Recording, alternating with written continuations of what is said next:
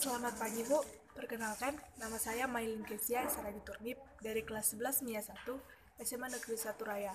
Pada pertemuan kali ini saya akan membahas tentang bab 13 dari buku agama kita. Adapun judul bab untuk kali ini yang akan kita bahas yaitu mensyukuri anugerah Allah lewat perkembangan iptek. Adapun bahan Alkitab yang diambil untuk bab ini yaitu Kejadian 1 ayat 27 sampai 28, Kejadian 6 ayat 14 sampai 15 dan Amsal 1 ayat 7. Nah, di sini kita akan membahas satu persatu materi yang ada di bab ini. Topik pertama yang akan kita bahas yaitu kemajuan ilmu pengetahuan dan teknologi. Kamus Besar Bahasa Indonesia atau KBBI menyatakan bahwa ilmu pengetahuan adalah pengetahuan tentang suatu bidang yang disusun secara bersistem menurut metode tertentu yang dapat digunakan untuk menerangkan gejala-gejala tertentu. Ilmu pengetahuan menurut Horton, PB, dan Chester LH pada tahun 1993 merupakan upaya pencarian pengetahuan yang dapat diuji dan diandalkan yang dilakukan secara sistematis menurut tahap-tahap yang teratur dan berdasarkan prinsip-prinsip serta prosedur tertentu. Sedangkan teknologi adalah penerapan penemuan-penemuan ilmiah untuk memecahkan masalah-masalah praktis. Nah, teknologi. Secara etimologis, teknologi berasal dari kata tekne, yang berarti suatu rangkaian yang berkaitan dengan per, per, pembuatan suatu objek atau prinsip atau prinsip atau metode dan seni. Dalam KBBI, definisi dari teknologi adalah yang pertama, metode ilmiah untuk mencapai tujuan praktis.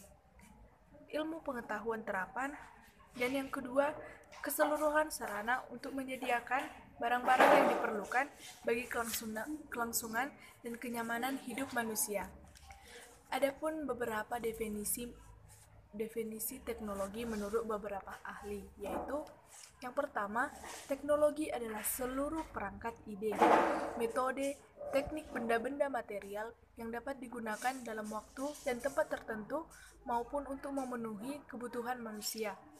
Yang kedua yaitu teknologi adalah suatu perilaku produk, informasi, dan praktik-praktik baru yang belum banyak diketahui diterima dan digunakan atau diterapkan oleh sebagian warga masyarakat dalam suatu lokasi tertentu dalam rangka mendorong terjadinya perubahan individu dan atau seluruh warga masyarakat yang bersangkutan.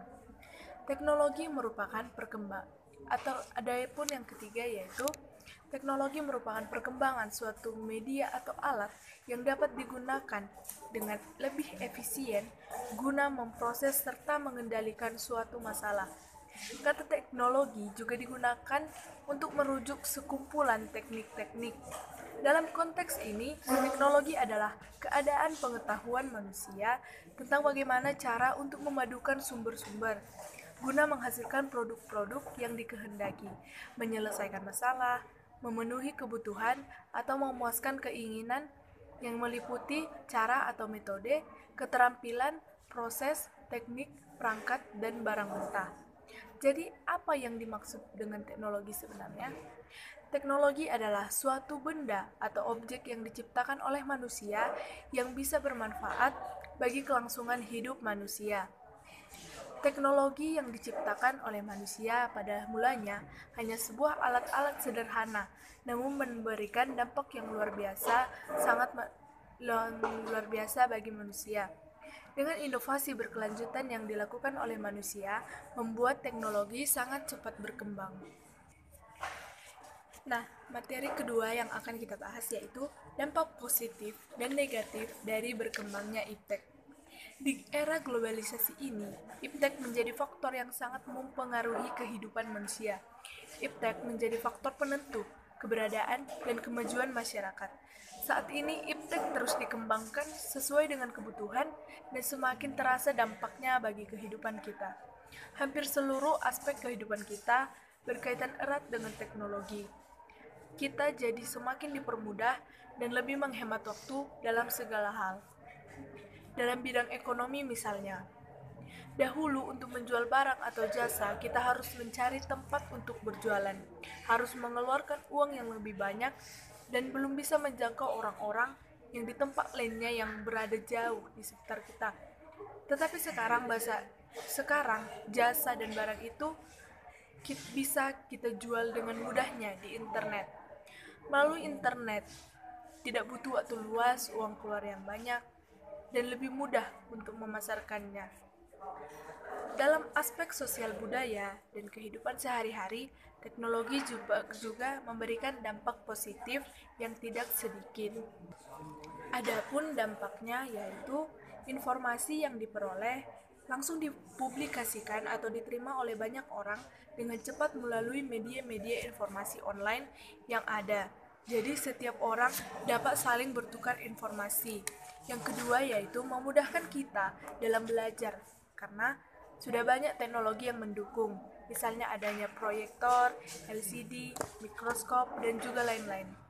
Yang ketiga yaitu Hubungan sosial antar masyarakat bisa berlangsung di mana saja dan kapan saja, walaupun berjauhan dan berada dalam zona waktu yang berbeda, tetapi dapat berinteraksi satu sama lain. Sosialisasi kebijakan pemerintah dapat lebih cepat sampai ke masyarakat dengan adanya pemberitaan di radio, televisi, internet, dan lainnya, sehingga masyarakat dengan mudah dapat mengetahui peraturan dan kebijakan pemerintah yang sudah baru atau dikeluarkan.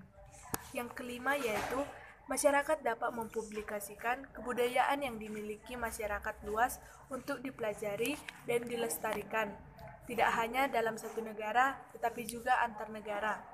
Selain dampak positif yang sudah saya bacakan tadi, teknologi juga memiliki dampak negatif. Adapun dampak negatif dari teknologi yaitu yang pertama, muncul kejahatan baru seperti penipuan, penculikan, pencurian nomor kartu kredit, pornografi, pengiriman virus dan spam, penyadapan saluran telepon, dan masih banyak lagi kejahatan yang dilakukan dengan menggunakan fasilitas teknologi. Yang kedua yaitu banyak perilaku penyimpang yang terjadi, khususnya pada remaja, karena tidak bisa memilih mana mana yang diterima dan mana yang ditolak. Banyak perilaku menyimpang yang terjadi, Nah, yang ketiga, tingkat kepercayaan kepada lingkungan sekitar semakin menurun. Karena lebih percaya kepada internet untuk mencari informasi dibandingkan bertanya langsung kepada orang yang mengetahuinya. Ketergantungan kepada internet semakin meningkat. Yang keempat yaitu privasi bukan menjadi sesuatu yang mahal lagi. Dengan adanya situs jejaring sosial memberikan penggunanya kebebasan untuk membuka diri dan melihat info serta privasi orang lain, contohnya Facebook, Instagram, Twitter, dan lain-lain. Budaya asli yang kelima yaitu budaya asli yang terkikis karena masuknya budaya asing. Masyarakat jauh lebih mengerti dan mempelajari tentang budaya luar dibandingkan dengan budaya asli yang kita miliki di tempat tinggal kita sendiri. Yang keenam yaitu terkadang membuat kita malas dan tidak kreatif.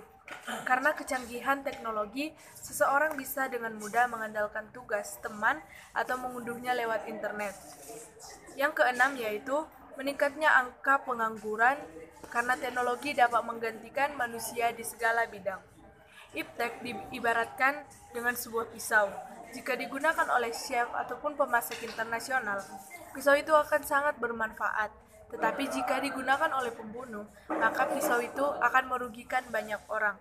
Artinya, iptek dapat membantu manusia memudahkan pekerjaannya dan juga segala aktivitas, tetapi juga bisa menjadi bumerang untuk kita jika kita tidak mampu memilih mana yang harus kita terima, mana yang harus ditolak, mana yang benar, mana yang salah. Mana yang benar dan mana yang salah. Kita harus bisa menanggulangi dan mencegah dampak negatif tersebut agar tidak terjadi bagi kehidupan kita. Materi ketiga yang akan kita bahas yaitu sikap dalam menghadapi perkembangan iptek. Bagaimana seharusnya orang Kristen menghadapi perkembangan iptek? Apakah orang Kristen harus menerima iptek dengan terbuka atau menolak atau yang lainnya? Menurut Amsal 1 ayat 5 menjelaskan bahwa baiklah orang bijak mendengar dan menambah ilmu dan baiklah orang yang berpengertian memperoleh bahan pertimbangan. Dari ayat di atas jelas bahwa Tuhan memerintahkan bagi manusia senantiasa mengembangkan ilmu pengetahuan yang ada dalam dirinya dan terus mencari suatu bahan pertimbangan agar manusia menjadi bijak dan pengertian. Dalam kejadian 1 ayat 27 sampai 28, Allah memberikan manusia itu suatu amanat ilahi ataupun mandat budaya yaitu untuk menaklukkan alam semesta. Untuk dapat menaklukkan alam semesta, manusia membutuhkan pengetahuan. Manusia harus mampu memeriksa alam serta mengambil suatu tindakan yang tepat bagi kesejahteraan alam semesta. Jadi, ilmu pengetahuan bukanlah musuh orang Kristen, melainkan sebagai jalan untuk lebih mengenal dan mendekatkan diri kepada Tuhan. Apabila manusia dapat memanfaatkan ilmu pengetahuan sebagai saluran ibadah untuk memuji dan memuliakan Tuhan. Nah, demikian pemaparan informasi dari saya. Terima kasih.